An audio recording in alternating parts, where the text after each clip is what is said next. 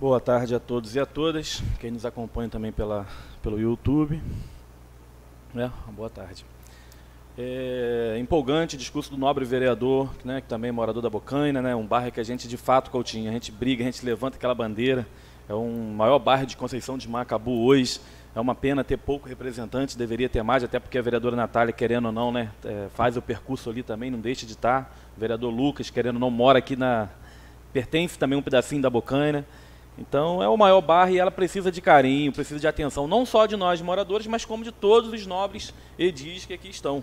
Né? É, quando se fala a questão da, da obra da Bocaina, eu quero muito, Coutinho, ajudar o governo. Muito. Tanto que eu, de lá eu vim. Quero muito. Só que aí existe uma dificuldade muito grande no governo. Dificuldade esta que você bate na porta, é difícil ter alguém para abrir a porta. É difícil alguém deixar a chave na porta.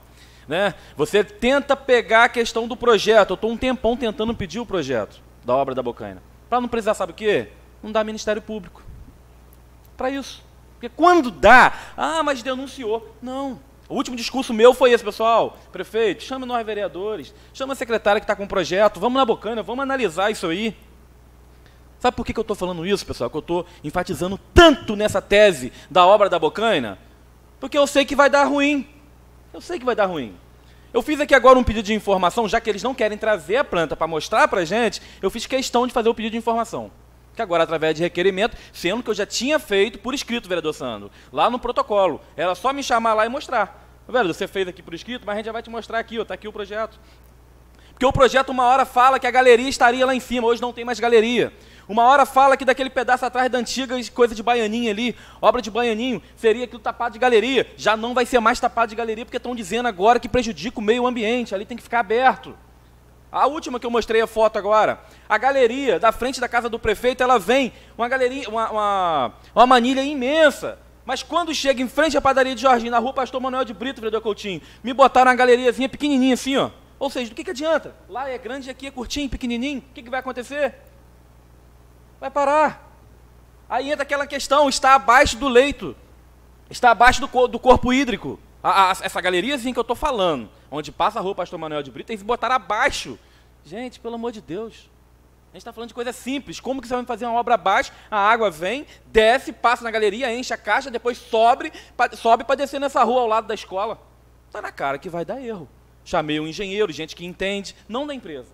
Não da empresa. Chamei um outro engenheiro, olhou, Falei, meu Deus do céu, não estou acreditando nisso aqui não.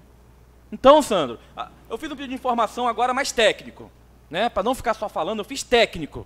Eu quero agora o projeto, o estudo do projeto. O INEA pede agora 50 anos de estudo. Atrás. Né? Eu pedi apenas de 30. Porque qual a eficiência que vai dar aquela obra? Se vai de fato funcionar, se teve um estudo mostrando que vai dar certo. É, é, ali é parte técnica, ali tem que ter capacidade para responder aquilo. Não é qualquer orelhada que vai assinar um papelzinho, não. Então eu fiz o, o pedido. Porque envolve dinheiro público. Para depois aquela obra não estar tá interditada pelo Ministério Público e os moradores ficar sofrendo. E outra, vereador Santos, sabe o, o, o REDEC da Defesa Civil está dizendo agora que a chuva que está para vir vai ser muito mais forte do que essa que já teve. Aí eu te pergunto, o leito do rio, já limparam? Já desassorearam o leito do rio todinho para soltar até lá embaixo? Essas pontes que tem a, o tubulamento, que represa toda a água forte que vem desde a Vila São José, já trocaram? Não. Nada. Nada. Nada. Aquela senhora da Vila Nova da rua ali, 15 de março, que a casa desabou em cima dela, eu e o vereador Toninho na época, conseguimos tirar a mulher, cheguei lá, eu consegui, fiquei mais de uma hora tirando barro com a lama para arrancar ela, tiramos ela de lá. A casa está lá até hoje, todo destruído, os móveis dela dentro da casa, cheio de lama, vereador Santo. Vereador Ticó, cheio de lama, ninguém, em momento nenhum, foi uma máquina lá para limpar, para dar uma satisfação para a família, vamos recuperar suas fotos, seus bens que está aí dentro perdido, está lá até hoje. Até hoje, aquele monte de barreiro em cima da casa da mulher, tadinho, que a casa acabou tudo. Só ficou os móveis ali de baixo e meias paredes levantado. Que isso, gente? A gente está falando de vida. A gente está falando de pessoas. Pessoa que passou por um momento crítico devido, devido a essa, essa enchente que teve em Conceição de Macabu. A gente está falando de apoio a essas famílias. A gente está falando de apoio aos moradores da Bocane que perderam muitas coisas. O que, que foi dado até hoje aquelas pessoas? Ah, o aluguel social para alguns? Sim, mas até quando? Enquanto se vê gastando um absurdo de dinheiro para fazer outras coisas. E o necessário é ali, ninguém dá apoio. Ninguém pega no colo, pega para ver o documento, para ver o que está precisando, para caminhar, para ajudar, para ajudar aquelas famílias a se erguerem. Simplesmente para concluir, senhora presidente. Mais dois minutos, vereador. Simplesmente o que faz, a gente desviou o leito do rio, do, do, do, do, do corpo hídrico debaixo das casas dessas pessoas, vão passar pela rua. Sim, mas e aí? Mas e a tensão naquelas casas que perderam tudo?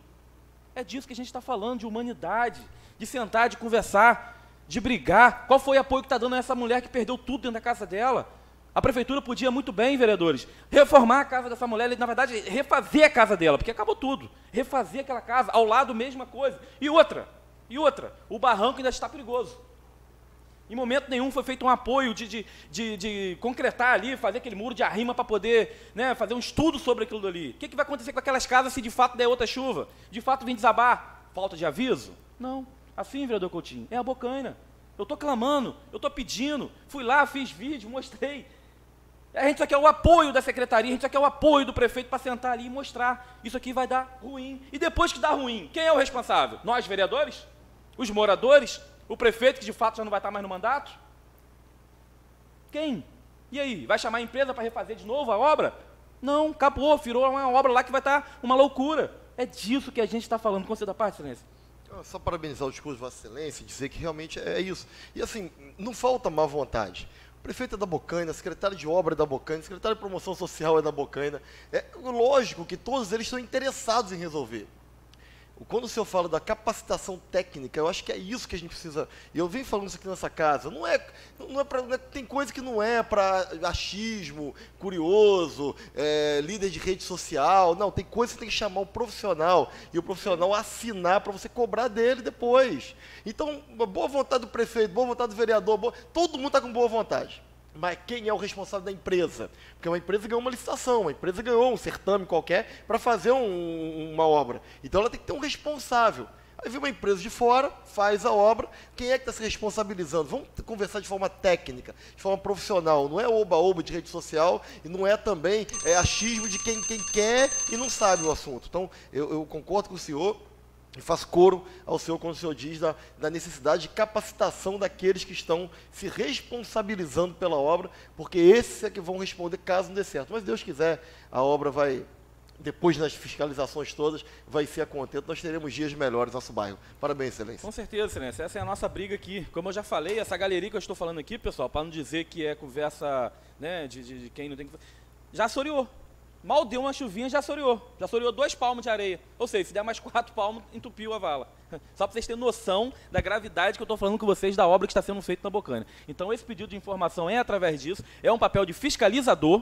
Né? Todo me conhece, quem me conhece desde o primeiro mandato, sempre fiscalizei, sempre fiz pedido de informação, sempre bati nessa tese.